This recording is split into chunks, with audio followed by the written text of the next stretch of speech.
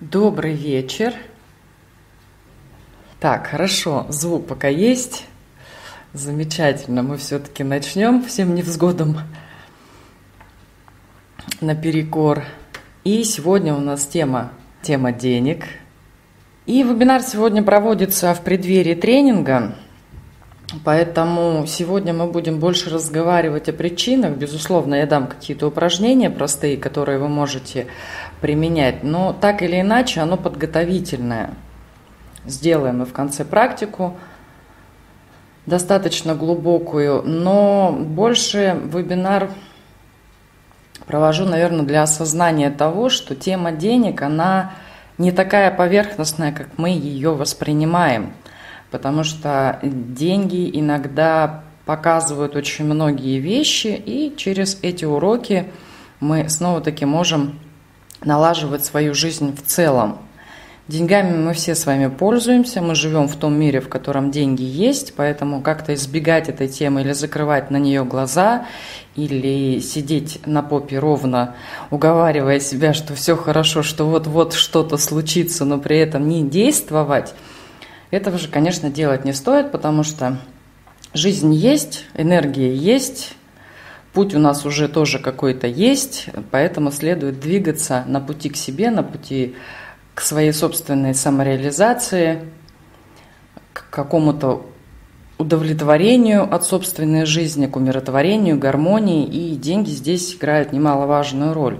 Хотя мы и находимся в каких-то непонятных отношениях с деньгами, на самом деле деньги – это всего лишь ресурс, никаких отношений у нас с деньгами не должно быть, мы ими имеем возможность просто пользоваться, использовать их. Поэтому вот эти перекосы, что любить деньги, молиться на деньги, там, призывать как-то, привлекать как-то, а, на энергетическом плане это отражается несколько в искаженном варианте, то есть в любом случае это какая-то степень нужды, проходим мы все эти этапы, да, мы где-то где просим, где-то молимся, где-то привлекаем, где-то используем какие-то ритуалы, но все должно быть в меру. И с осознанием того, что это некоторая игра, некоторое подкрепление нашей веры, можно так сказать.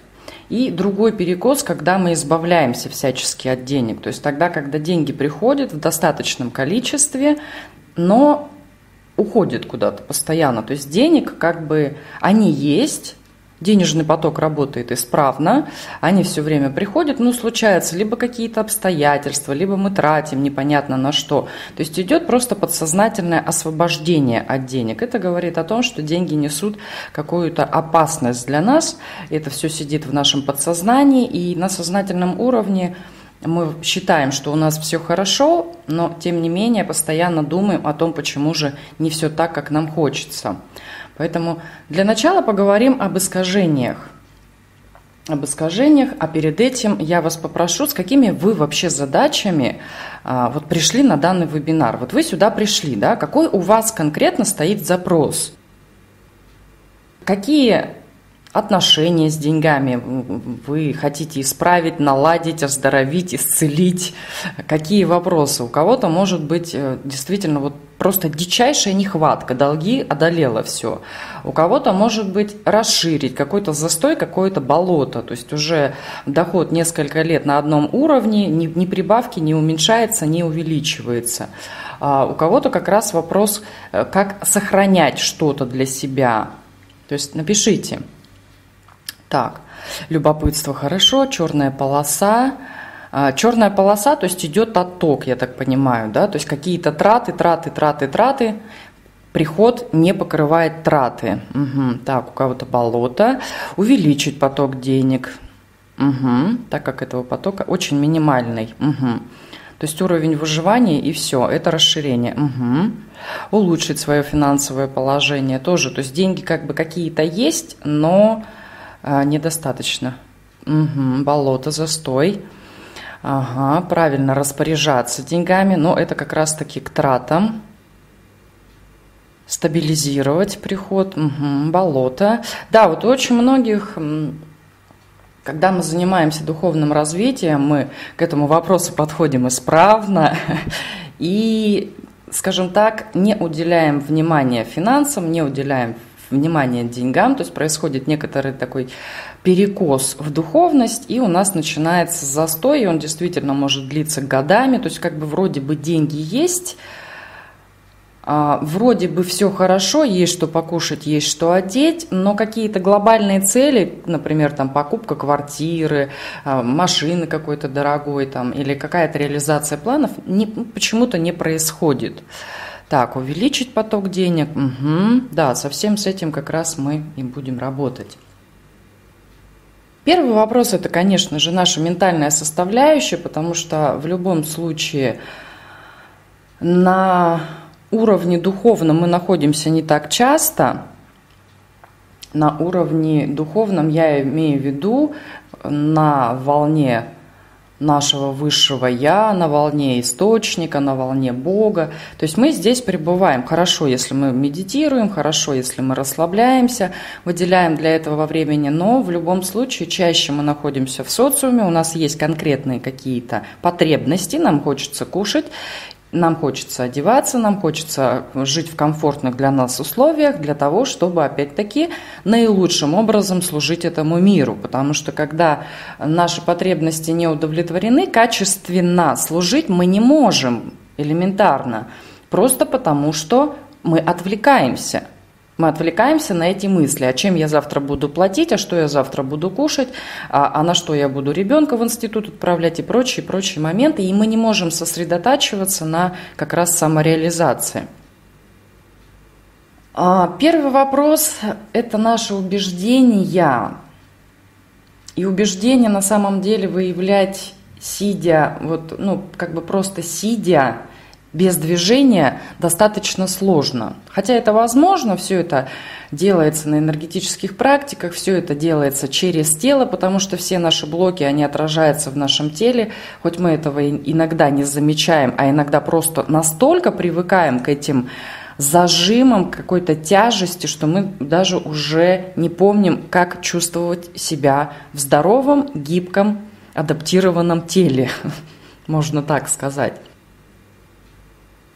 Что касается убеждений, сразу дам такую практику, потому что на уровне сознания то у нас все хорошо. Мы же с вами ну, не одну книгу прочитали, не один тренинг посетили, не один там вебинар посетили.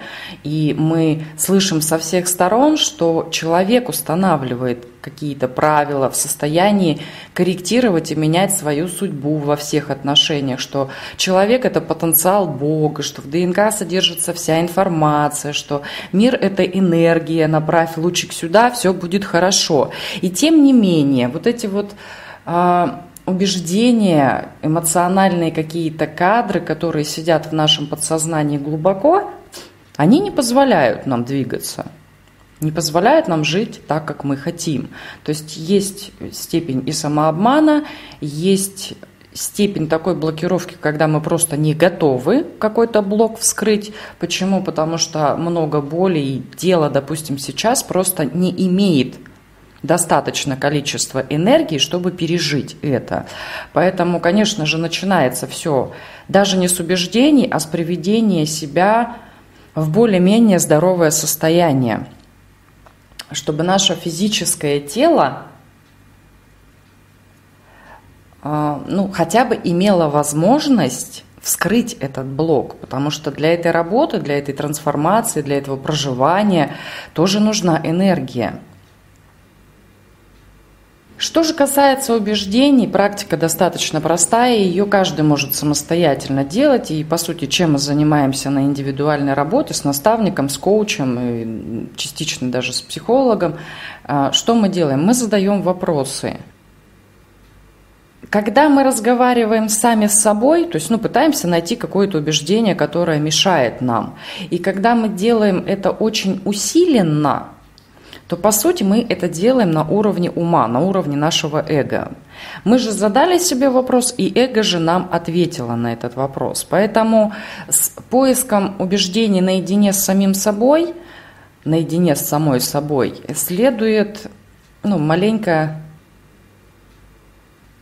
увиливать от эго, назовем это так. То есть мы делаем запрос, Я прошу мое подсознание показать, какие блоки, какие зажимы, какие искажения мне мешают моему собственному процветанию, благосостоянию, богатству, а, блокируют денежный поток, как угодно это назовите, вывести на уровень сознания. То есть как бы осознать, для начала хотя бы осознать, что мешает. И мы с этим запросом ходим хотя бы недельку, ну, хотя бы для начала дня три. И мы очень бдительно относимся ко всему, что происходит. Опять-таки здесь нужна балансировка, такое некоторое равновесие. То есть да, мы хотим, безусловно, узнать этот блок, мы хотим найти эту причину, но не следует вот жить только этим вопросом, только этим запросом. То есть все, я хожу три дня и вот жду, жду, когда же придет этот ответ. Жду. Нет, сделать запрос, все, и отпустить этот запрос. Проснулись с утра, с вечера себе сделали этот запрос, во сне вы как-то это увидите, услышите вы это как-то. Но самое главное, свободно отпустить. То есть можете представить шарик воздушный – запрос в этом шарике, и вы отпускаете его в небо. То есть я доверяю себе, я доверяю своим чувствам, я доверяю своему подсознанию, и вы просто с этим ходите, желательно иметь какой-то блокнотик ручку, коротенький, коротенький, маленький, чтобы он у вас везде помещался, в машине, на работе. И еще раз, ждать не следует – то есть вы продолжаете жить своей жизнью, потому что вот эти ответы, которые действительно приходят из подсознания, они приходят как некоторой вспышкой, какой-то импульс. Вот вы просто сидели, работали, работали, допустим, и разговаривают там коллеги, просто два человека стоят, разговаривают, и вы не слышали их разговор. В какой-то момент вы услышали четко какую-то фразу. Вот эту фразу следует записать. Вы, допустим, едете по трассе, и снова таки, ну, просто музыка какая-то играет, или радио у вас разговаривает, или вы, может быть, с кем-то разговариваете.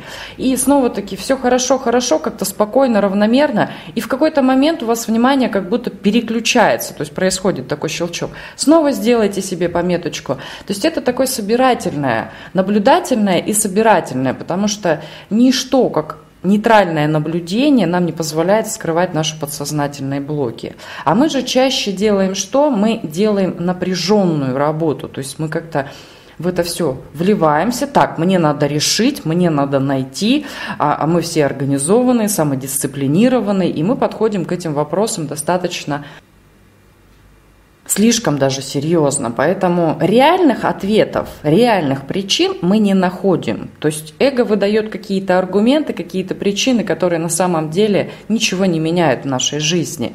И мы прорабатываем там, ну, к примеру, человеку э, мешает какое-то чувство вины за какую-то там ситуацию в прошлом, а эго ему выдает э, ты недостаточно уделяешь деньгам внимания. И вот человек начинает думать 24 часа в сутки о деньгах, там, читать аффирмации, делать все, что угодно, а на самом деле всего лишь нужно убрать чувство вины за какую-то ситуацию, простить себя. И вот это прощение как раз-таки откроет этот денежный канал.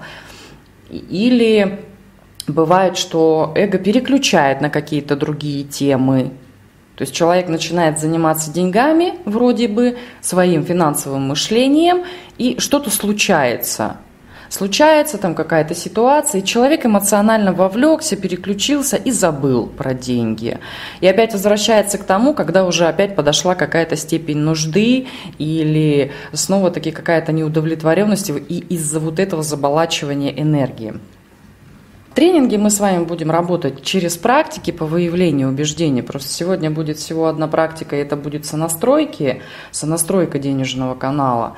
А, но в первом в первом и втором дне тренинга мы как раз будем разговаривать с глубинными причинами, то есть это наша семья, это наше детство, а, сама социальная функция долга, почему, в какой момент для нас это стало нормой – и моменты. Для начала вы можете сделать вот это хотя бы упражнение, то есть поставить себе действительно цель. Все, я меняю свое финансовое. Не я поменяю когда-нибудь, не я попробую когда-нибудь.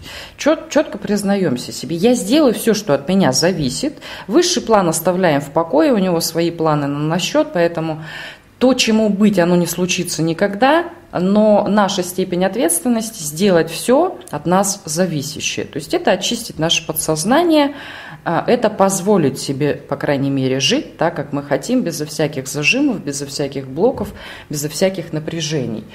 Ставим цель, я меняю свое финансовое положение, я меняю свое состояние, благосостояние, я меняю поток денег, я увеличиваю, неважно, как вы это все сформулируете, чтобы это резонировало именно внутри вас. И после этого делаете запрос. Подсознание выведи на сознательный уровень какие-то ситуации, какие-то блоки, а, пусть даже это кармические какие-то ситуации, которые мне мешают. И постепенно будет приходить информация. Потому что на самом деле обработать негативное убеждение сложности нет никакой. Практик очень много. Элементарно объяснить себе, у вас уже достаточно для этого и аргументов, и информации, что да, тогда вот это случилось вот так-то и так-то, потому-то, потому-то, я прощаю, потому что ну, на тот момент я не знала, я не знал, на тот момент было так удобно, на тот момент это помогло мне выжить, то есть понять, почему-то ситуация произошла, и уже сформулировать как бы новое представление, новую модель, новое убеждение для себя. Самое сложное, вот э, непростое найти реальную причину. Действительно. Поэтому вот а, кто с запросом выявить парадигму в отношении денег, понять, услышать внутри себя, почувствовать действительно истинный блок, это ну, стоящий запрос, назовем это так. Все стоящие запросы, но это вот один из первых. То есть это то, что касается убеждений. Второе упражнение, которое вам в этом поможет, это написать просто свою историю отношений с деньгами. Я хоть и говорю, что не а, неверно иметь отношения с деньгами, но так или иначе она у нас как-то складывается. Мы их то любим, то ненавидим, то избавляемся, то призываем к себе на помощь, то еще что-то, еще что-то. Поэтому пропишите и пропишите от настоящего к самому-самому рождению, вот настолько, насколько вы это помните. Именно ваши отношения. Мы не берем наше окружение во внимание, даже наших близких, самых там, мужей, матерей.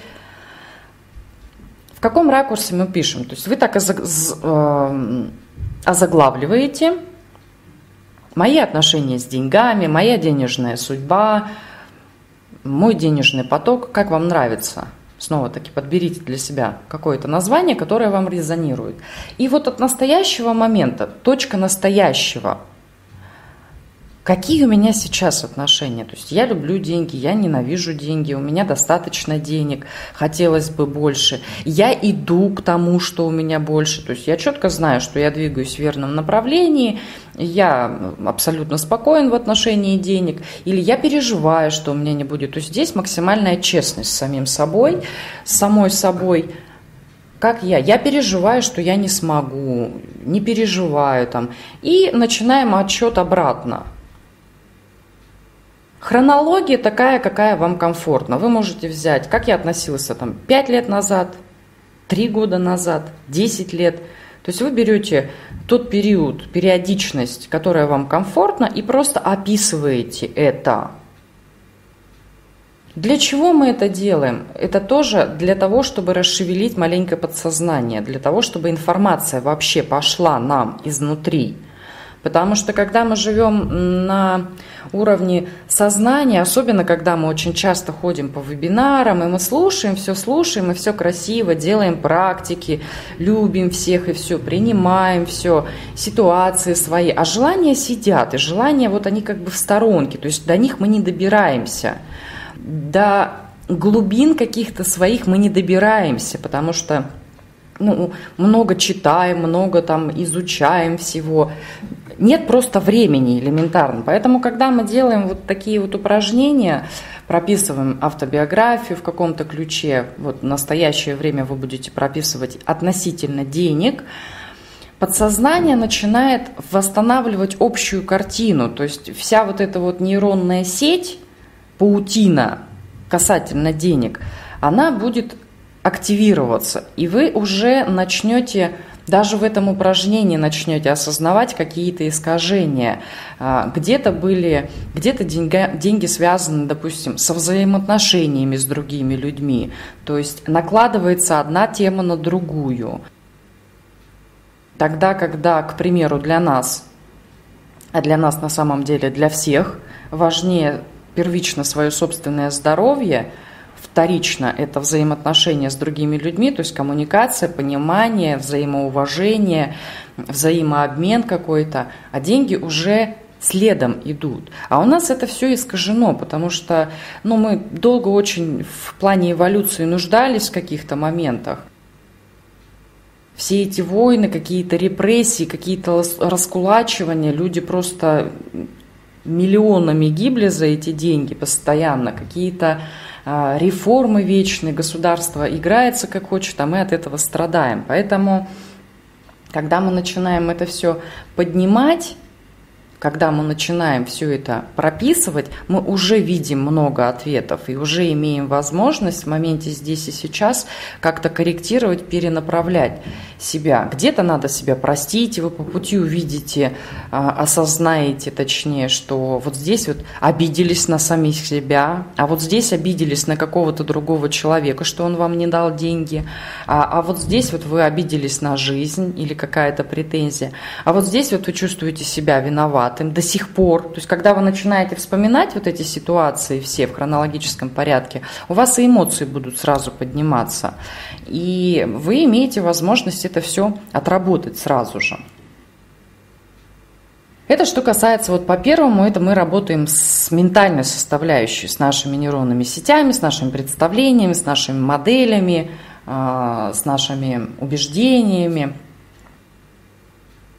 тренинге мы больше будем работать не столько... Информация будет относительно заявленной темы, информация будет выдаваться в каждом занятии, но больший акцент все-таки будет на уровень энергии и на уровень эмоционального исцеления, потому что это более влияет, скажем так, на нашу жизнь, чем ментальное представление. То есть это будет на самом деле все в купе, потому что оно связано друг с другом.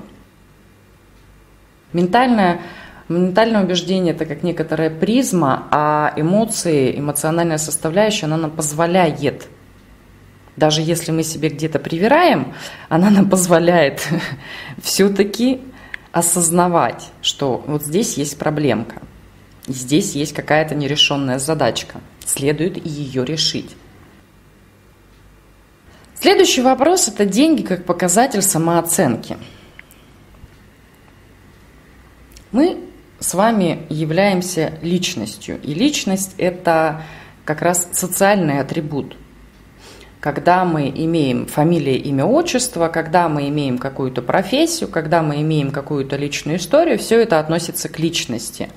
Соответственно, когда у нас самооценка нашей личности занижена, мы постоянно будем нуждаться. То есть на самом деле мы не соответствуем своей собственной природе.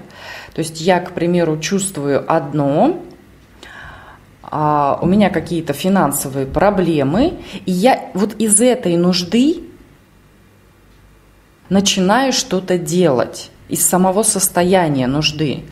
Естественно, уже моя самоценность из состояния нужды, она уже искажается.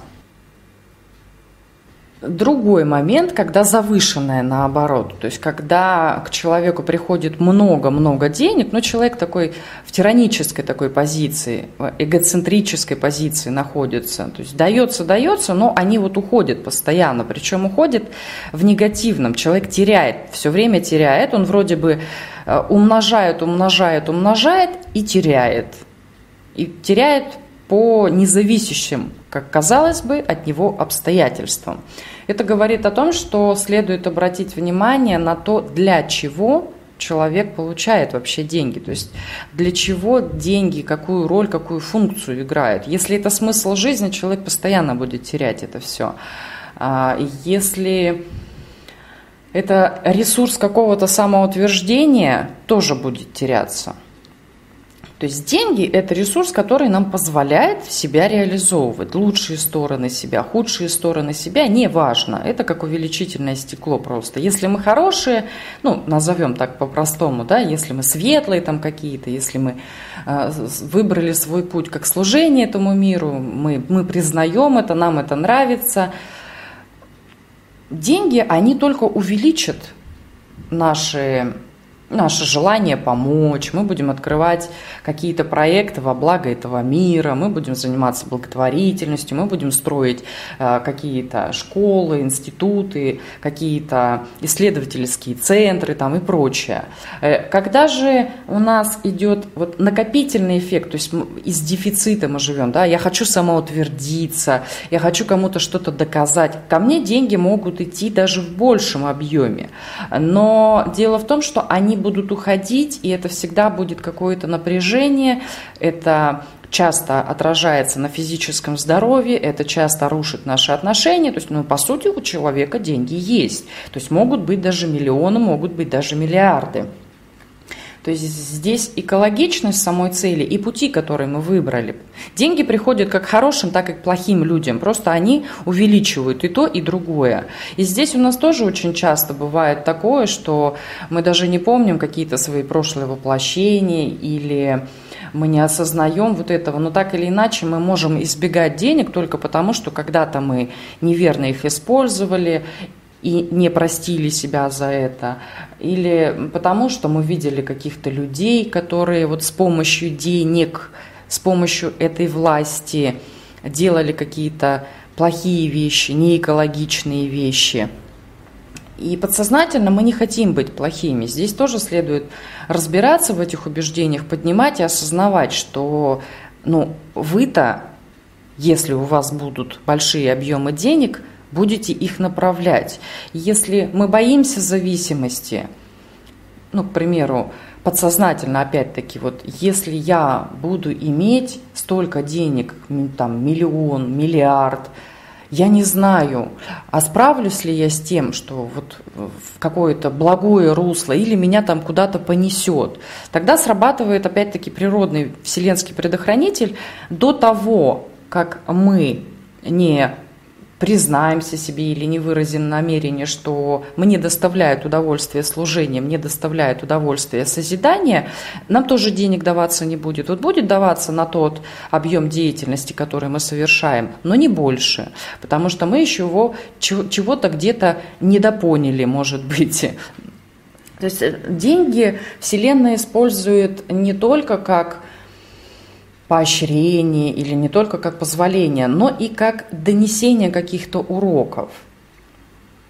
И когда мы говорим о самооценке, здесь есть и обратная связь. То есть то количество денег, которое мы имеем, иногда свидетельствует о том, что мы не позволяем себе иметь. Почему я говорю иногда? Потому что действительно это не всегда так. Ну, иногда бывает, мы проходим какой-то период с деньгами, застой, можно сказать, или у нас идет просто какой-то отток, потому что мы исполняем, например, какую-то кармическую задачу. При этом наша самооценка как была на здоровом уровне, так она и остается. Я принимаю в этом случае такую ситуацию. То есть, да, упадок какой-то финансовый, я спокойно к этому отношусь, я спокойно это прохожу.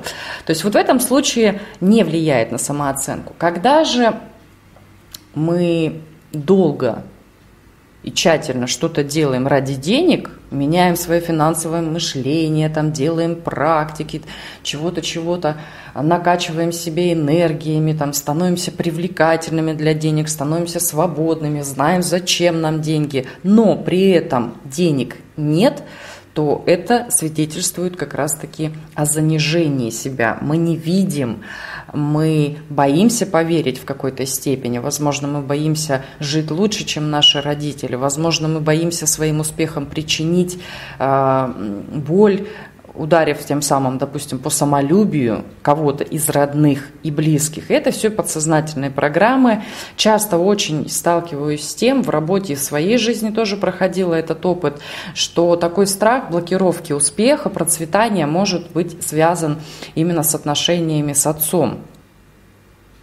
Когда у, ну, допустим, как у, у меня, как у ребенка, с папой складывались прекрасные взаимоотношения, но между папой и мамой были какие-то разногласия. И в какой-то момент, к примеру, я стала на позицию мамы, и у меня, а, соответственно, обида на отца. Тогда мы переходим вот в такой режим вечного какого-то наказания папы. То есть мы хотим наказать каким-то образом. В то же самое время это происходит застой в развитии, то есть в какой-то части себя я остаюсь то есть маленькой девочкой, обиженной на папу, и вот та маленькая девочка нуждается в заботе, допустим, от папы, а я как взрослая, зрелая хочу отомстить папе или наказать папу. И вот эти вот две программы, они как бы взаимозамещаются. Это мы тоже будем прорабатывать, потому что это очень часто влияет на самореализацию, то есть вот это вот чувство обиды на папу и чувство вины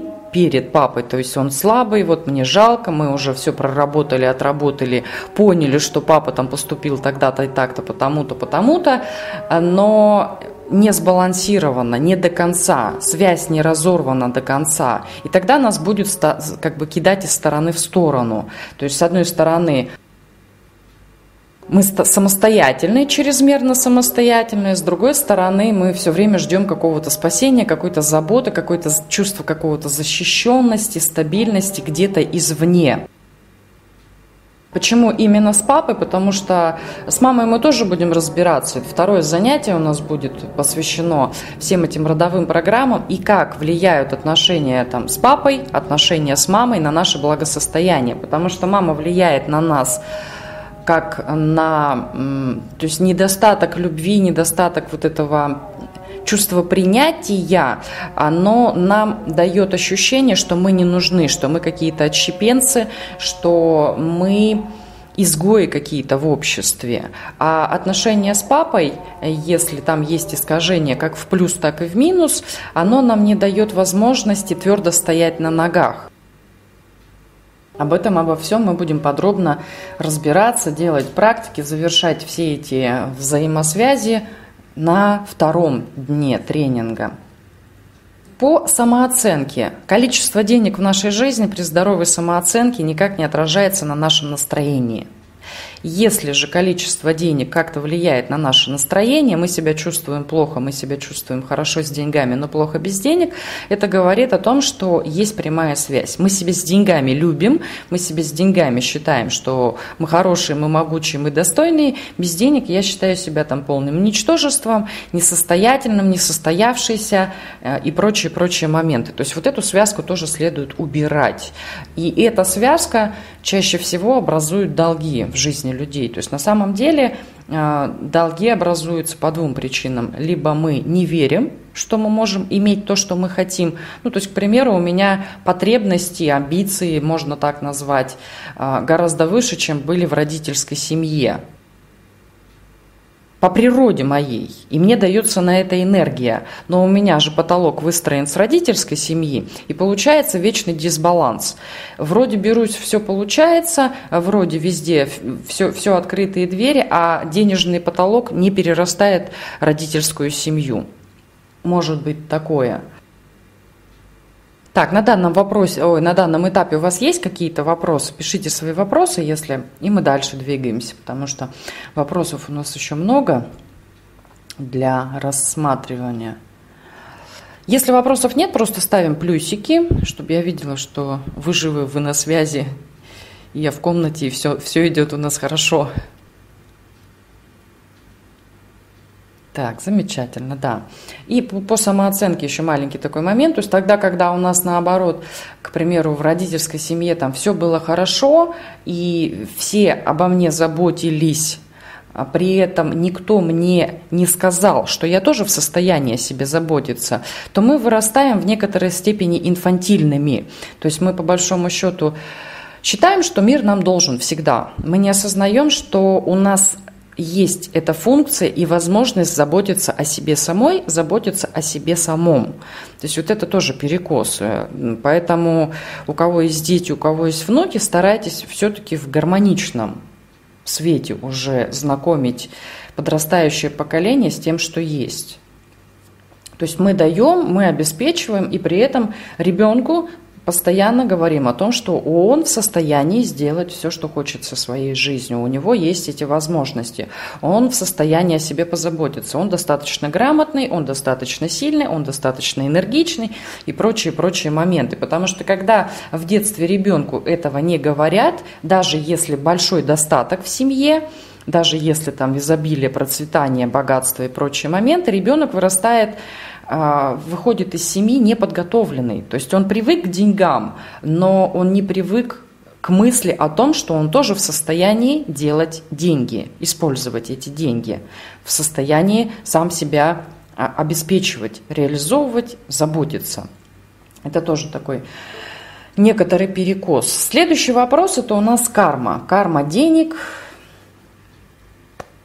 что с этим делать, как это быстро отработать и как проявляются кармические задачи. Кармические задачи проявляются в нашей жизни э, на самом деле не очень спонтанно, ну хотя бывает и спонтанно. Кармические задачи, они, как правило, у нас вызывают сразу первый протест. И кармические задачи, они всегда как-то парадоксально проявляются, то есть нелогично один момент, когда есть какие-то обязательства, какое-то партнерство, и нас, допустим, партнер подвел, и мы потеряли большую сумму денег. То есть, ну, это все логично, как-то все это объяснимо.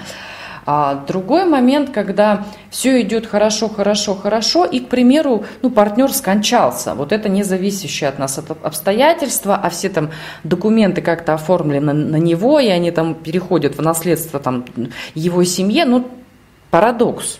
По большому счету от нас ничего не зависит, и почему-то мы потеряли большую сумму денег.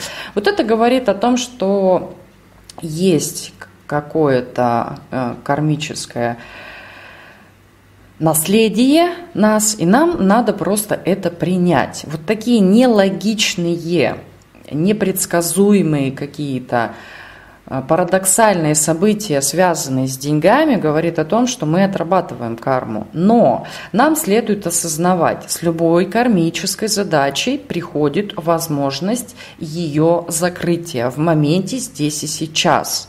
То есть кармическая задача нам не дается в наказание нести этот крест до конца этой жизни. Э, карму мы в состоянии закрывать в моменте здесь и сейчас. И тогда, когда мы спокойно принимаем то, что с нами произошло, с осознанием глубоким того, что у нас уже есть решение этой задачи, мы начинаем видеть возможности. Это, как правило, новые возможности. То есть э, мы смотрели вправо, случилась ситуация, мы приняли эту ситуацию, смотрим влево, и вот оно решение находим. Ну, понятно, что это все упрощенно, есть какие-то нюансы, есть какие-то... Не так все просто, не, не за пять минут, но тем не менее, здесь самое главное принятие. Все, что касается проклятия, это на самом деле проклятие. Что такое проклятие? Поражение нашей энергосистемы. Родовое проклятие, которое там передается с поколения в поколение, оно также нейтрализуется через принятие. Ну да, есть какие-то вещи, которые делают там на смерть, и вот не будет в роду там ничего, ничего, ничего, вы все это в состоянии перекрыть, если вы готовы это принять. Если вы не верите в свою собственную силу, идите куда-нибудь, снимайте проклятие. Но каждому человеку дается эта сила от природы. Жизнь так устроена. Вы в состоянии исцелить свою энергосистему теми силами, которые у вас есть. Вопрос в том, что если мы не верим, конечно, если мы не верим, не осознаем, не чувствуем в себе достаточно сил, мы идем куда-то, к какому-то мастеру, который нам это все закрывает, перекрывает, дает какие-то ритуалы, мы следуем этим ритуалам и тем самым исцеляем свою энергосистему и, соответственно, последующее поколение. То есть здесь надо быть по, по, по максимуму честными. Со здоровьем то же самое. Если, э, да, мы знаем случаи исцеления, да, люди излечиваются там от рака, от каких-то смертельных болезней сейчас, от СПИДа и прочих вещей. Но если мы не верим, то следует идти и э, к медицине обращаться. Это тоже вполне нормально. Тут честность в этом случае гораздо важнее, нежели мы будем с неверием сидеть и убеждать себе, что я смогу, я смогу, я смогу. Нет, наша задача решать поставленные жизнью задачи перед нами любыми способами. Вот здесь все способы хороши. Не верите себе, находите мастера. Э, осознаете причину, исполняете все, как вам сказали. Не работает, значит, ваша задача исцелять самой самому, развивать эту силу, верить в себя и прочие-прочие моменты.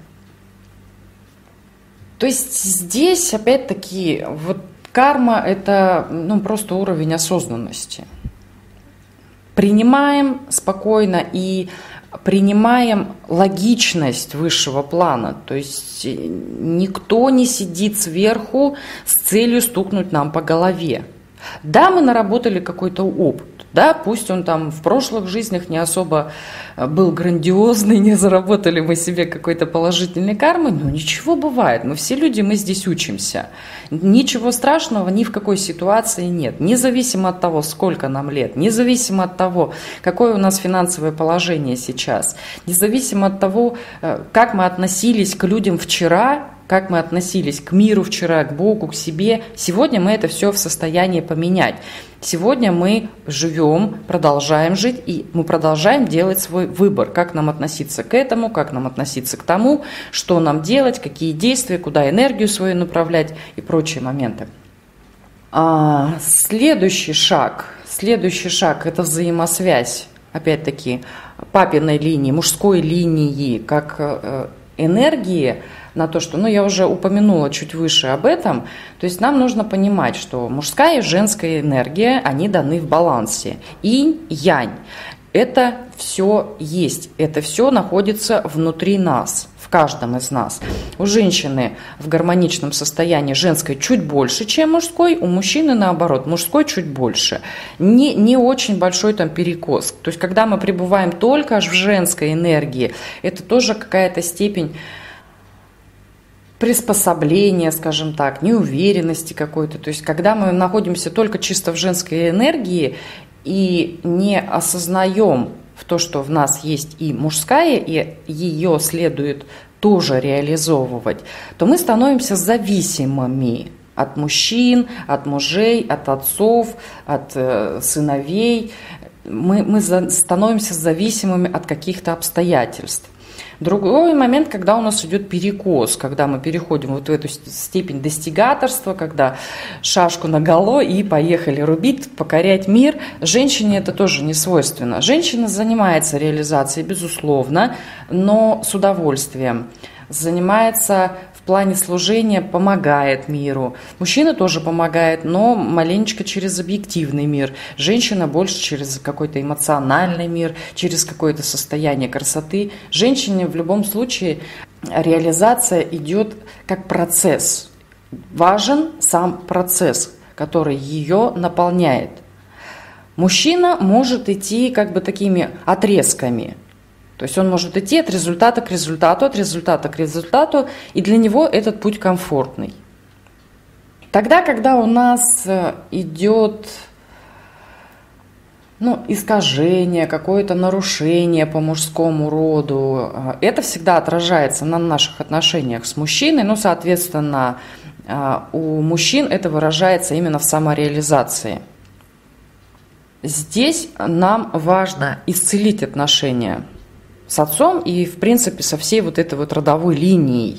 Тогда, когда мы можем подпитываться, но не тогда, когда мы живем ради нашего прошлого рода. А, то есть мы продолжаем, и мы первое звено, идущее впереди. Род позади нас, он нас подпитывает, он нас поддерживает, он нам дает какие-то силы для того, чтобы мы проходили весь опыт и кармические даже какие-то задачи, и там проклятия родовые и прочие-прочие моменты но как бы мы стоим уже во главе этого. Тогда, когда у нас не завершены отношения с отцом, с родом, мы не можем создавать принципиально что-то новое. То есть мы как бы вот этот потолок, он нам не позволяет выйти Почему? Потому что мы на самом деле остались еще в семье. Здесь мы не теряем связь с семьей, ни в коем случае. Мы не обрубаем никакие концы. Наше древо родовое, оно как растет, так и растет. Просто нам следует осознавать, что мы нечто новое, нечто усовершенствованное.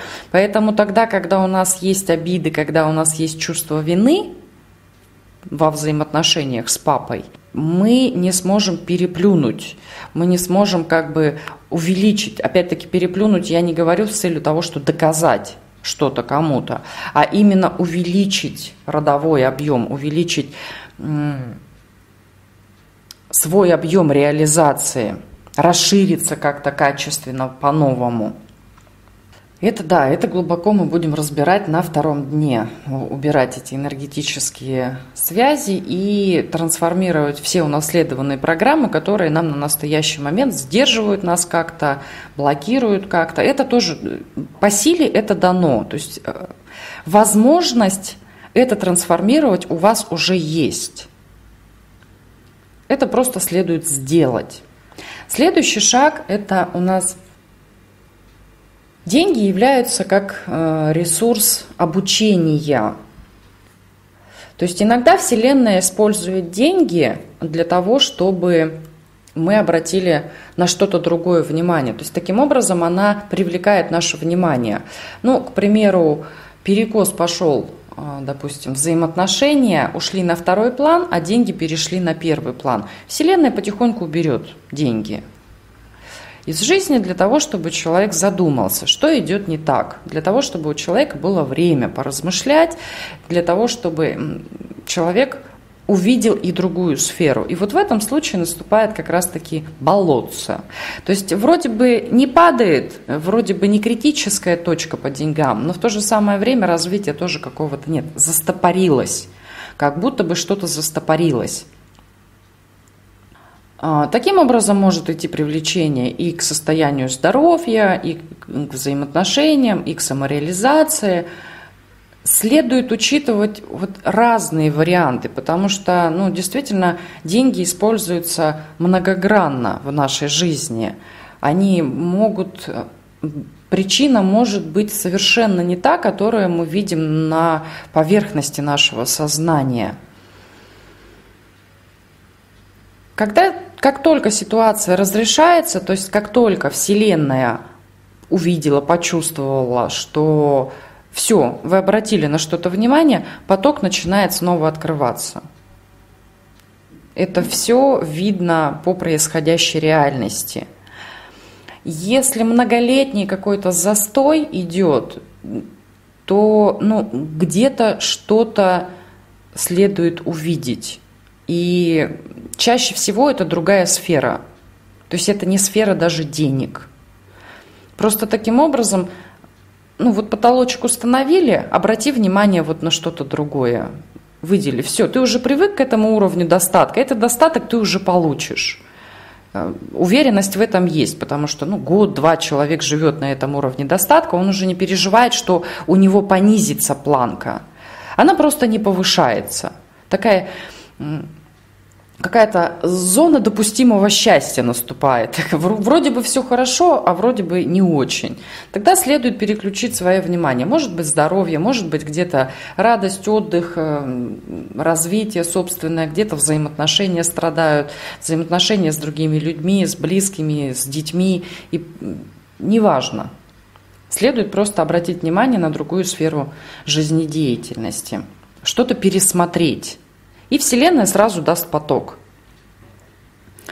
Следующий момент – это как пользоваться деньгами, то есть как вообще перевести деньги из что-то, что нам надо как-то зарабатывать, э, как-то быть для этого привлекательными, в простой ресурс. И здесь тоже это степень самооценки – Тогда, как на, когда на нас количество денег уже никак не влияет на наше настроение, на наше состояние, когда мы спокойно принимаем любую финансовую ситуацию, что бы с нами ни происходило, ну, как бы у нас есть такое внутреннее осознание, что, ну, окей, произошло вот это, значит, я это решу. Вот. Если даже я сейчас не знаю, как я это решу, я это завтра узнаю. Тогда же, когда у нас мысли направлены на то, как мне получить деньги, это говорит о степени нужды. Или когда у нас мысль о том, что да, деньги это вот что-то такое, то есть как бы наоборот принижение идет денег. Не в деньгах счастье, мне и без денег хорошо, там, ну, как, какие-то вот такие вот общие фразы выходят, когда человек э, употребляет их в своей речи или внутри себя, во внутреннем диалоге, тогда, когда мы принижаем, то есть мы делаем вот эту э, сферу денег, сферу финансов какой-то недостойной нас, недостойной нашего внимания. И то, и другое – это перекос. Пользоваться – это как раз-таки вот нейтральное такое. Мне вот такой объем, вот он мне комфортный. Моя проводимость денег сейчас вот такая вот, она мне комфортна. Вот мой объем, который энергетический, допустим, объем. Я занимаюсь оказанием каких-то услуг, я там живу в в своих потребностях. И вот мне сейчас комфортно пропускать вот такое количество денег. И мне эта сумма приходит, ну или а, объем потока, назовем это так. Он приходит, все планомерно, все хорошо. Если вдруг я хочу увеличить каким-то образом объем, я первое осознаю, что мне следует энергетически к этому быть готовы, потому что в любом случае деньги – это энергия, это объем энергии, и он предполагает ее проводить. То есть, когда у нас появляется больше денег, они нам нужны для чего-то, у нас и активности больше проявляется, а здесь уже и энергия, и какие-то контакты, и мы что-то будем делать либо сами больше, либо у нас будут люди к нам приходить, которым мы будем платить деньги. А, то есть каким-то образом происходит расширение. Готова я энергетически сейчас к этому расширению? Если не готова, значит я себя подготавливаю к этому расширению. И таким образом просто происходит естественное экологичное расширение денежного потока. То есть тогда, когда понятна цель, и тогда, когда соответствие энергии есть. Потому что тогда, когда мы просим, зная, к примеру, на что нам нужны деньги, мы просим, но энергетически не соответствуем, а, мы не получим эти деньги. И наоборот, когда у нас энергии льет через край, но мы не осознаем, зачем нам эти деньги. Да, мы вроде бы где-то есть такие общие представления, ну вот я куплю себе то, вот я открою этот проект, вот. Но это общее на уровне ментальном, и мы даже не прожили ни разу эту реальность. То есть мы не погрузились, мы не представили, мы не ощутили себя в этой реальности. Денег тоже не будет даваться, потому что идет несоответствие просто-напросто. Как соответствовать или как, скажем так, выращивать свою энергосистему до того объема, как-то сегодня косно у меня даются фразы, ну да ладно, вы чувствуете в любом случае – этим мы будем заниматься на третьем и на четвертом занятии нашего тренинга, а, потому что ну, есть какие-то меры предосторожности, есть свои нюансы, есть свои нюансы и в аффирмациях, и в визуализации, и в энергетическом состоянии, тогда, когда мы через состояние меняем свой достаток.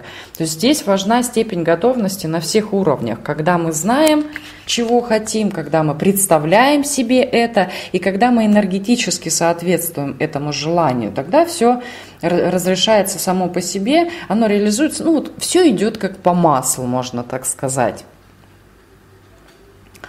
Следующий вопрос – это без чего денег ну, просто не приходит. Это, как я уже сказала, без энергии и без понимания, для чего нам деньги. Вот. Мы можем наблюдать в нашей реальности, что некоторые люди, опять-таки, хорошие, плохие, не суть важна, светлые, темные, но и те, и другие есть представители и тех, и других, которые имеют большое количество денег. И те, и другие распоряжаются этими деньгами каким-то образом. Мы не берем сейчас, как распоряжаются люди. Но люди, первое, что они пожелали этих денег. Они пожелали такое благосостояние, они позволили себе это благосостояние. Поэтому, когда мы говорим о том, чтобы увеличивать, исцелять, приумножать, прийти к состоянию процветания, первое – это желание. И желание не должно вызывать никакого сопротивления. То есть, когда мы и себе, и другим людям заявляем, что да, мне нравятся деньги, да, мне нравится богатство, да, мне нравится там, чувствовать себя вот так и так, или распоряжаться, или иметь, мы спокойно об этом говорим. Нет никакого ужиманства, нет никакого чувства стыда, э, нет никакого желания скрыть, что мне нравится материальный комфорт. Это первый показатель. Так когда мы говорим о материальном комфорте, спокойно, со всеми абсолютно людьми. Не выборочно, вот с этим человеком я могу поговорить, потому что он такой же, вот он, он уже живет так, например. А вот с этим человеком я не могу, мне как-то стыдно, мне кажется, что вот что-то, что-то там он подумает, или мне некомфортно там говорить родителям, или мне некомфортно говорить друзьям. Так вот это как раз показатель того, что мы не до конца признаем даже свое желание материального комфорта, а ну, Почему у нас вообще тогда должны быть деньги, если мы себе даже не признаемся в этом? Это первый шаг. Второй момент, второй шаг, ну не шаг, можно сказать, второй пункт – это наше энергетическое состояние. Как я уже говорила, без энергии денег не будет, а энергия денег, она активная, это мужская энергия, она не пассивная, то есть как бы чемодан денег не придет и не будет лежать. С чемоданом денег поменяется наша жизнедеятельность, это нужно осознавать. Потому что деньги придут, нужно будет осуществлять этот проект, нужно будет осуществлять. То есть деньги не придут и не сделают все за нас. Нам в любом случае нужно, это просто возможность для осуществления какого-то нашего плана. Но делать-то в любом случае нам придется. Ну, элементарно берем какой-то проект. Я вот хочу э, там 3 миллиона на открытие какой-то школы, допустим, для детей, для детских домов, неважно. Мне дадут эти 3 миллиона?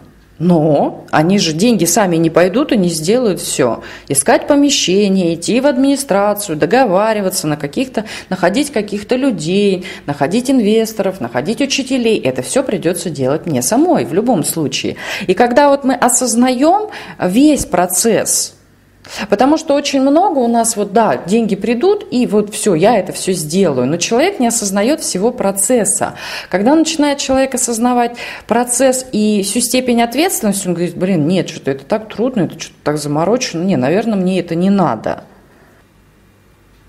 Элементарно берем, опять-таки, не, не глобальные вещи. Берем какой-то, к примеру, автомобиль. Автомобиль тоже поднесет с собой ряд ответственности. Нужно будет проходить ТО, нужно будет заливать бензин каждый день, нужно будет менять масло, а еще есть вокруг водители, которые могут это все повредить и прочие-прочие моменты. Когда опять-таки входим в процесс, уже нужна ли мне эта машина, может пользоваться такси спокойно, там, э, друзьям звонить. То есть иногда вот степень идет в моменте ответственности, потому что деньги придут, да, движение увеличится, это нужно осознавать. Следующий шаг – это цель. Четкое понимание, ясное понимание, зачем. Если ваша цель согласуется с высшим планом на вас, все прекрасно, вы получаете деньги. Если ваша цель каким-то образом не согласуется с высшим планом на вас, то есть вы хотите к примеру, денег, ну, какой пример привести? Вы хотите денег, чтобы открыть новый ресторан, а у, у Вселенной на вас планы, чтобы вы занимались целительством. На ресторан вам деньги не придут до тех пор, пока вы не найдете какое-то внутри себя вот это вот ощущение, какое-то предназначение, в котором вам будет хорошо. Как только вы это откроете для себя, так вы пойдете в гору. И возможности найдутся, и пускай это для вас даже абсолютно неожиданно э, но ну, все будет разрешаться, и самое главное, будет выдаваться энергия на это. Тогда, когда мы сонастраиваемся со своим предназначением, со своим путем, тогда, когда мы делаем то, что нам и предназначено, и мы хотим, все разрешается само по себе. То есть двери открываются, энергия у нас на это есть, возможности открываются, все происходит. Нам даже как-то думать и напрягаться очень сильно нет необходимости в этом варианте. Если деньги нужны, чтобы отдать долги, здесь нужно разбираться с образованием долга. Это второе занятие нашего тренинга, потому что когда у нас э, нужны деньги, чтобы отдать долги, причина не в том, что они нужны сейчас. Причина в том, что почему мы себя тогда загнали в минус. Поэтому здесь именно с первородным долгом следует разбираться. Тогда, когда вы поймете те причины, у вас деньги придут, вы даже не будете думать о том, что вам надо отдать долги. Эти платежи, они у вас будут включены в тот объем денег, который который вы будете получать. Проблема не в том, что вы сейчас имеете долги. Это следует осознать. Вы их имеете, и в тот момент, когда вы взяли эти долги, в тот же момент вам выдана была энергия на то, чтобы это все вернуть. Но с учетом того, что вы не осознали ту причину, вы сейчас думаете только о долгах. То есть вы как тогда зашли в минус в этот долг, вы до сих пор не вывели себя в плюс. Поэтому в таких ситуациях денег не будет до тех пор на полное покрытие долгов, пока вы не осознаете именно ту причину, и причин там много. Чаще это, чаще это чувство вины, это чувство обиды, все, что касается эмоций. Все, что касается ментальной картины, это занижение самооценки в обязательном порядке. Степень невежества может быть как причина степень невежества, но это тоже занижение самооценки. Это тогда, когда либо мы там взяли первый долг на что-то совершенно незначительное и взяли так достаточно пофигистически, то есть, ну, сегодня возьму, а завтра, как Бог пошлет, там чем-нибудь рассчитаюсь. Э, либо мы действительно нуждались на тот момент и взяли из состояния нужды безвыходная ситуация, но так и не вышли из этого состояния нужды. Поэтому, когда мы говорим о долгах, то, что там перевести фокус внимания на приток, ну да, это хорошо, когда мы перемещаем фокус внимания на приток и на получение денег, но пока сама причина долго не уйдет и не будет устранена, долги будут. Это энергетическая кабала в первую очередь. Что такое долг? Мы берем что-то, чего у нас нет, для удовлетворения каких-то своих потребностей, неважно каких, сиюминутных или действительно важных для жизнедеятельности. Суть в том, что мы почему-то не увидели другого варианта. Другой момент, когда деньги берутся в долг, ну, допустим, какая-то идет аккредитация на бизнес, на квартиру, которая сама себя будет окупать. То есть деньги взяты, вложены, и они сами себя окупают. И из этой окупаемости человек выплачивает. Это вполне ну, скажем так, допустимый вариант. Даже в случае потери этот человек этой же недвижимостью, к примеру, выплатит этот долг. Он ничего не потеряет. Да, он ничего не приобретет, но он, по крайней мере, ничего и не потеряет. А вот когда мы берем долги, э, берем какие-то суммы, ну, на самом деле причин же много может быть, потому что может браться на лекарства, может браться на отдых, может браться на, там, на машину, которая необходима. Здесь вопрос в том, почему не позволили себе. Ну, на самом деле там не один вопрос. А, скорее всего, вот если не быть хуже, чем другие, как у всех, то есть это говорит о том, что мы искусственно пытаемся самоутвердиться – то есть я покупаю себе такой же телефон, как у всех, я покупаю себе такую же машину, как у всех, там брендовые какие-то вещи, э, не знаю, там сережки с бриллиантами, только для того, чтобы люди видели, что я тоже достойный человек. Это говорит о том, что внутри-то как раз достойности нет, вы не осознаете свою ценность для этого мира. И вот эта вот заниженная самоценность, а у мира на вас есть планы, на всех из нас есть планы, когда вот этого не происходит, вам Вселенная, она и учит вас. Пока не научишься себя ценить, денег не будет. Тебя могут ценить другие, тебя могут уважать другие. Пока себя не научишься ценить, легкости в жизни не получишь. То есть тогда, когда мы не... Причина-то вот этого, когда мы Ну, вот, э, скажем так, вот в 20 лет я тоже, я, я машину свою первую, я ее взяла в кредит. Вместо того, чтобы там, допустим, пару лет поработать и купить ее за наличку, я ее взяла в кредит. Зачем? Ну, да, мне нужна была она передвигаться, но э, я любила безумно там езду, но и тоже а социальный вот этот аспект, он тоже присутствовал. Хотя сейчас смотрю в 20 лет, господи, какие там социальные аспекты. Но, тем не менее, тогда мои амбиции, э, желание там доказать, доказать доказать маме, доказать папе, что я в состоянии, там, что я чего-то могу, я взяла кредит. С учетом того, что мне нравилась езда, мне и выдавалась. Вот если бы мне вообще не нравилась езда, то мне бы прилетело за этот кредит.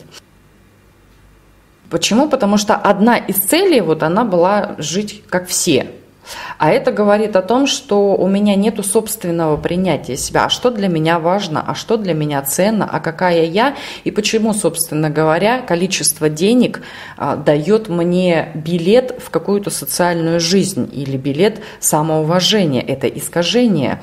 Самоуважение – то, что вы родились, вы живете – по одному этому вы уже достойны. Не имеет значения, убили вы кого-то вчера, обманули вы кого-то вчера, что-то вы там натворили, недостаточно благодарные, недостаточно там красивые. Вот это все искажение. Если вы живете, вы достойны жизни.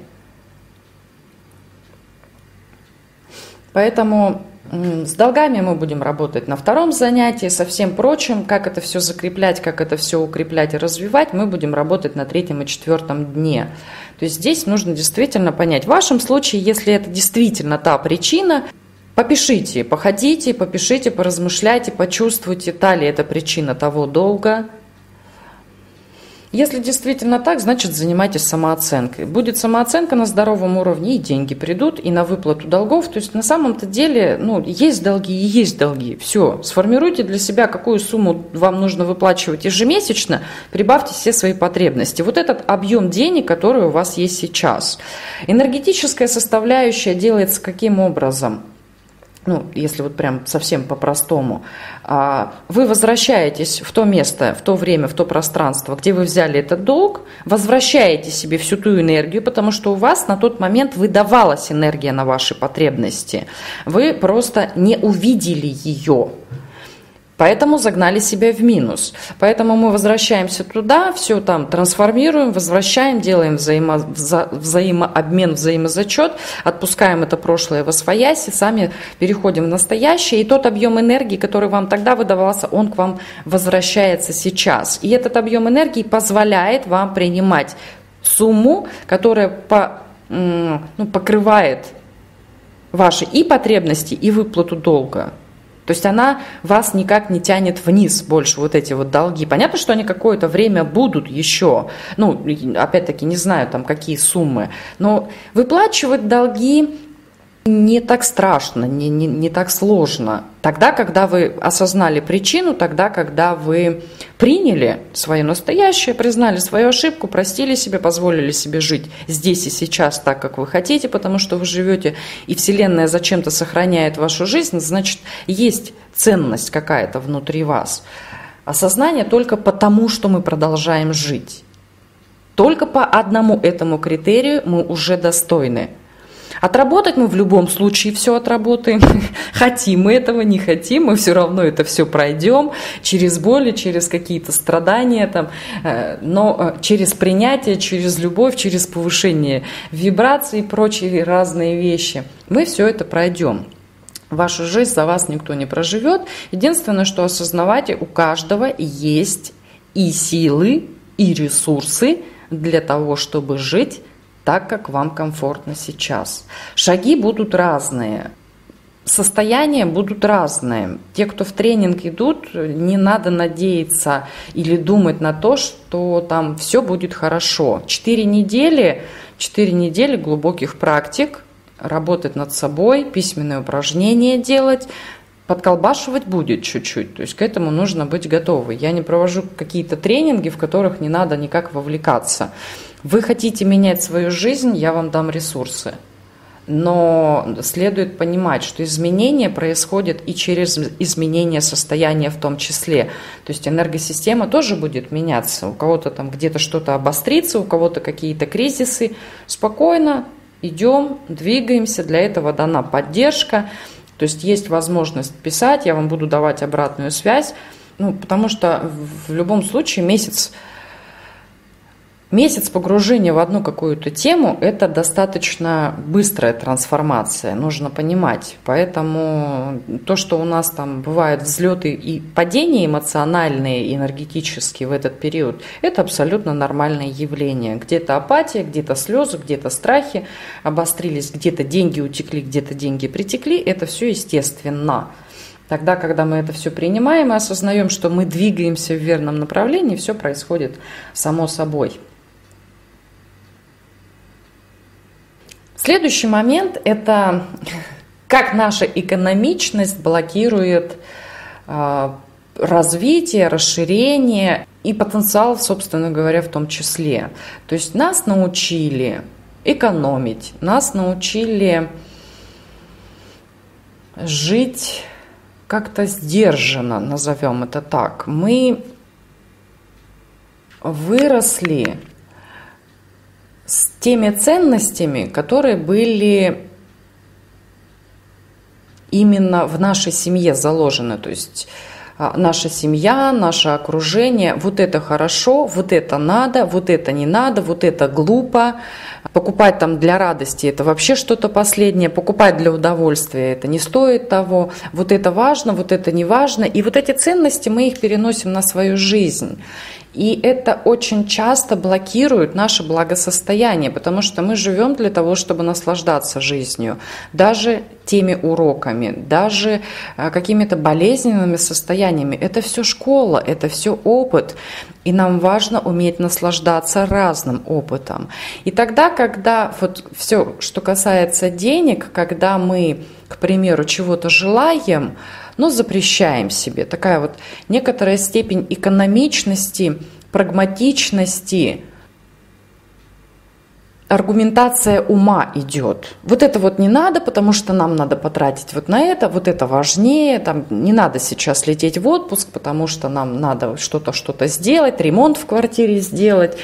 И вы чувствуете какую-то степень обреченности. Почему? Потому что деньги есть, желание есть, а вы вот эту энергию желания вместо того, чтобы реализовать и приумножить, направляете в то, что правильно. Откуда эта правильность взяла? Кто вам сказал, что делать, ну, на примере ремонта и отдыха, кто вам сказал, откуда вообще вы знаете, что правильнее сделать ремонт в квартире, нежели полететь? А если вы через месяц Богу душу отдадите. ну, такой, конечно, утрированный пример, но я к смерти спокойно отношусь, поэтому привожу такой. И зачем вам тогда ремонт в этой квартире? Да, понятно, что у вас там есть дети, и понятно, что есть семья, для них это все останется. Следует понимать, что когда мы делаем то, что мы желаем, мы чувствуем желание внутри, это энергия. Желание – это всегда энергия. Именно не желание нашего ума, а когда вот у нас идет какой-то импульс, блин, вот, ну вот хочу в отпуск, и деньги есть, ну, ну да, может быть правильнее сделать машину, может быть правильнее там сделать ремонт, но я хочу сейчас в отпуск. И вы чувствуете, что вам так хорошо от этого желания. Вот тогда, когда вы реализуете это желание, энергия приумножается. И на самом деле, если вы себе не запрещаете, а позволяете, а я сейчас слетаю в отпуск, а потом еще и ремонт сделаю. Тогда вам деньги придут и на то, и на это. Нас, в принципе, в социуме, в школе, в институтах, в государственной вот этой системе научили выбирать. Вот ты выбирай или то, или другое. Все сразу нельзя. И мы с этим ограничением как-то вот вышли в свет, живем сейчас, имеем уже деньги, но часто себе отказываем. Так вот, отказ в собственном желании сразу бьет по энергетике. Поэтому это тоже возьмите себе на заметку. Чувствовать, от чего вы расширяетесь, от какого желания. действительно вы прям вот вдохновлены этим ремонтом, то есть вы себя будете чувствовать вот превосходно, когда вы сделаете этот ремонт. А в отпуск вы можете съездить через полгода. Либо все-таки нет. Либо когда вы думаете о ремонте, вы чувствуете какую-то степень обреченности такой, ну да, ну деньги есть, ну да, надо сделать ремонт. То есть это как долг идет больше. Вот по ощущениям это идет как больше не радость, а именно как выплачивание какого-то долга. Да, я должен это сделать. Выбирайте всегда желание, пожалуйста. Просто с осознанием того, что я сейчас езжу, отдохну, там, или куплю себе платьишко, порадуюсь этому платьишку, и вот эта вот радость, она еще приумножится. И я тогда себе э, вот возьму деньги на обучение там, или возьму деньги на что-то, что-то еще. То есть позволяйте себе и то, и другое. Понятно, что мы иногда стоим перед каким-то выбором, и нам где-то следует выбирать. Э, выбирайте относительно комфорта и эмоций в настоящем. То есть вот делайте тот выбор, который ближе к настоящему. Можно так сказать. Но об этом мы еще тоже будем разговаривать уже на тренинге. Так, какие вопросы у вас возникают? Так, внутреннее отрицание. Чего внутреннее отрицание? Пишите свои вопросы. Я вам сбрасываю в чат ссылку по тренингу. У кого какие-то вопросы по пакетам, по доступу, сейчас по тренингу разберемся и после сделаем практику. Ушла с работы, теперь испытываю чувство вины. Вот, Мария, если не уберете а, чувство вины, то вы не найдете лучшее. Вы ушли же по каким-то причинам, вам что-то там не нравилось, и вы ушли для того, чтобы вам стало лучше. А вы своим чувством вины делаете а, но делаете свое пребывание сейчас не легким и свободным, как вы хотели после увольнения, допустим, а вы сейчас наказываете себя. И это наказание обязательно материализуется. Либо придется пойти и вернуться, либо придется принять какую-то менее привлекательную работу, то есть даже хуже тем, что была – либо как-то через другие какие-то вещи самонаказание реализуется. Чувство вины – это всегда самонаказание. Нас никто сверху-то не наказывает. Это же наше несостояние прощенности. В обязательном порядке нужно убрать чувство вины. Как избавиться от чувства вины? Вам первое нужно осознать, Чувство вины – это заниженная самооценка. То есть что у вас происходит? Вы хотели, был на какой-то накопительный эффект, видимо, вы хотели давно уйти с этой работы, потому что сил нету уже на этой работе, ну не знаю, не нравится она вам, э, не соответствуете, мало денег, начальник какой-то изгой, там, прочие-прочие моменты.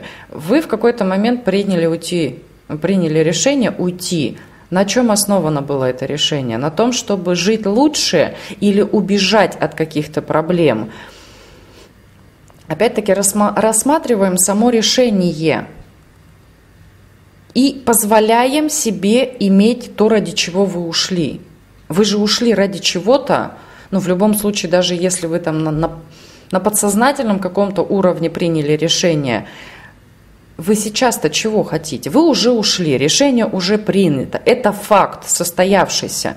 Жалеть о том, что там произошло, нарабатывать себе опять какую-то какую степень наказания в настоящем, ради чего, для чего? С чувством вины, еще раз говорю, это второй день, это наши долги, это все, что касается чувства вины перед кем-то, перед собой, перед Богом в том числе. Это вот по второму дню. В двух словах я вам рассказала, Причина, нужно вернуться, осознать, на основании чего было принято решение, почему вы ушли. Всегда мы уходим ради чего-то лучшего, от чего-то уходим. Но не дотянув себя до этого лучшего, ну то есть как бы не верю я, что это может произойти, обрубили концы и теперь жалеем. На самом деле жалеть не надо, надо доращивать себя, просто-напросто переключиться и доращивать. Задайте себе простой вопрос. Ну хорошо, дальше буду себя чувствовать виноватой, буду заниматься самобичеванием. Давай еще 24 часа в сутки сейчас себя понаказываем, чтобы завтра действительно уже прилетело так прилетело. И еще будет повод себя наказать. Зачем? Либо есть другой вариант. Я сейчас осознаю, решение было осознанно, даже если неосознанно, я его сейчас принимаю. И сейчас я выбираю делать то-то, то-то, то-то. Я верю в то-то, в то-то, то-то. Я намерена сделать то-то, то-то, то-то. Двери открываются, ну и прочие-прочие моменты.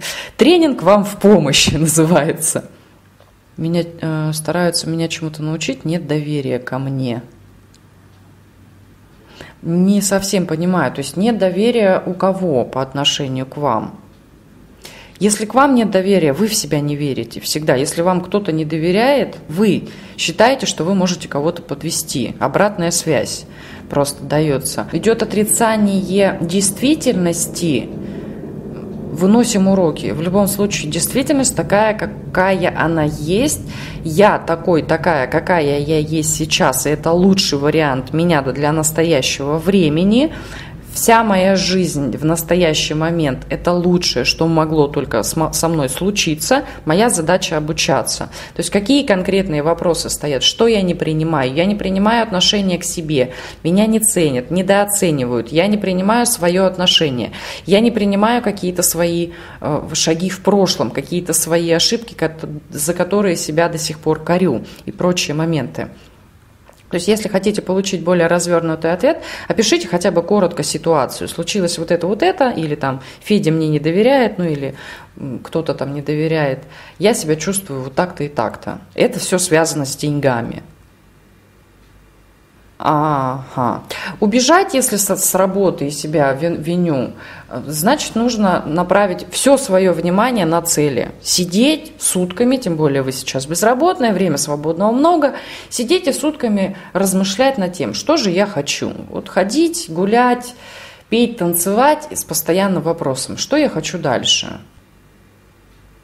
Самореализация в чем самореализация? Что мне нравится делать? Что я могу делать? Как я могу служить этому миру? Как я могу любить больше себя, любить больше этот мир?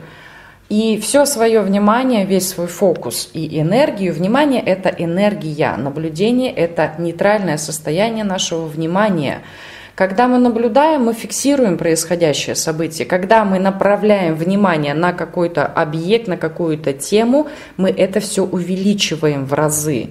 Поэтому, когда мы начинаем заниматься деньгами без осознания того, что я хочу, вы загоняете себя в минус просто-напросто. Только и всего. Об этих вещах как раз мы тоже будем разговаривать, потому что люди иногда не, недопонимают энергетического взаимообмена. Поэтому Сейчас целеполагание, что хочу в жизни, кто я, что я, куда иду, зачем мне деньги, зачем мне вообще работа какая, для чего мне по сути жить. Потому что тогда, когда мы убегаем отовсюду и не знаем куда, это говорит о том, что на самом деле мы себя подрастратили. Так как жить раньше мы не можем, потому что уже устали от притворства, самообманов, от собственных масок, хочется убежать, скрыться. А кто мы, мы еще не знаем. Поэтому вам на самом деле маленечко сейчас даже не деньгами заниматься, а вам бы тренинг подошел путь к себе, где мы там начинаем с самого детства, заканчивая тем, что мы божественная составляющая, которая уже все знает и все умеет, как Тамаша. Я уже все умею. Пытаюсь продать бизнес и не получается. Теперь ощущаю чувство неизбежности действовать так, как раньше. А, смотрите, вот тогда, когда, как я говорила, это застой какой-то, да, вроде бы все есть, но что-то идет не так. На самом деле вы продавать его начали уже с таким ощущением – если это не какая-то, опять-таки, задача Вселенной, которая вам, наоборот, говорит о том, что сохрани и будет лучше что-то, э, просто здесь нужно детально смотреть. Это такая достаточно частная ситуация. Если у вас вот желание освободиться, там, желание переехать, заняться другим бизнесом, и вы прям вот этим вот всем горите и не можете продать, значит, вы себе не позволяете чуть большего счастья, чем было до этого.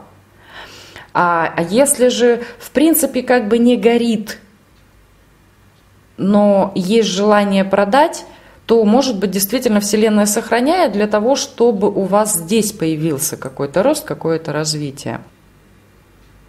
Вот это вот без этого знания, кто мы на самом деле, то есть тогда, когда мы еще зависим от социального положения, когда мы не разотождествлены, когда наша самооценка зависит, если я вот такой, то я молодец, а если я вот такой, то я полное ничтожество, а на самом деле вопрос с деньгами, он так или иначе будет регулировать присутствовать в жизни. Будут взлеты, будут падения, потому что наша душа-то, она не имеет никакого отношения к деньгам. К деньгам имеет отношение наше тело. Душе без разницы, в каком мы финансовом положении. Поэтому, когда вот мы выходим на этот уровень а, «я есть дух», но при этом признаем, что я есть дух в человеческом теле, то есть я есть Бог, да, но Бог, познающий самого себя через вот это физическое тело, вот через вот эти данные. Рябченко Алена Васильевна, вот у меня там метр семьдесят весом, тушка такая, поэтому будь любезна, да, я признаем, что мы есть духовная составляющая, всемогущая, вездесущая там со всеми причитающими э, регалиями, но при этом у меня есть тело, и сейчас я нахожусь в этом теле, и я социальное существо, большинство, я занимаюсь какой-то деятельностью, и сейчас эта деятельность приносит благо этому миру. Ох, возможно, больше забочусь о других, чем о себе. Бич, бич духовных людей, бич. Здоровый эгоизм, мои хорошие, здоровый эгоизм. Когда не будет вас или когда вам плохо, вы не будете в состоянии качественно здоров... заботиться о других людях. Забота о других людях – это замечательно, это великолепно. Мы все сюда пришли служить. И именно с этой позиции нам нужно научиться себя любить и ценить. Я люблю и ценю себя как здоровая ячейка божественного поле, ну вот здоровая частичка этого. И мне следует учитывать свои интересы, потребности, позволять себе жить. Я позволяю себе жить так, как я хочу, только для того, чтобы реализовывать свой божественный потенциал том объеме, в котором я сюда пришел его реализовать.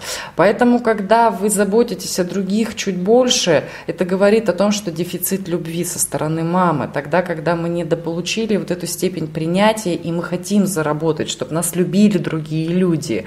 И это заботиться о других прекрасно тогда, когда мы делаем это когда это стоит на втором приоритете после самозаботы. Так, теперь по бизнесу. Что касается, да, хочу освободиться от бизнеса на самом деле, есть какие-то уже другие цели э, на, на эти деньги, то есть есть уже, ну не знаю, есть знания тем, как вы распорядитесь. И вы чувствуете, что это уже груз на вас давит. Это говорит о том, что вы себе не позволяете где-то. А вот в степени непозволения а здесь нужно будет разобраться. То есть почему вы себе не позволяете чуть больше качественной жизни, чуть более легкой. Это, это уже какие-то убеждения в вас сидят, которые блокируют. Поищите убеждения, либо ну, ищите разными способами. Вот здесь, еще раз говорю, все средства хороши. Используйте мастеров, астрологов, тарологов, кого угодно для того, чтобы получить ответ. Потому что когда у нас есть потолок, ну да, вот этого ты достигла, ты молодец, там все, все вот это ты заслужила, а, к примеру, хотите чуть больше свободы. И вот этот как раз продажа этого бизнеса, она вам даст больше свободы. Но стоит где-то рычажок, ну слушай, ну ты зажралась, красавица. И все, и вот этот рычажок, он вам не позволит. Э, Вселенная просто будет удерживать это до тех пор, пока вы себе не позволите себе любимой жить так, как вы хотите в действительности. Любимые любящие. Еще раз бросаю ссылочку в чат. Знакомливайтесь какие-то, если есть вопросы по тренингу, и мы делаем 5 минут перерыв. После мы сделаем практику. Водички попить, размяться, изучить И через пять минут встречаемся.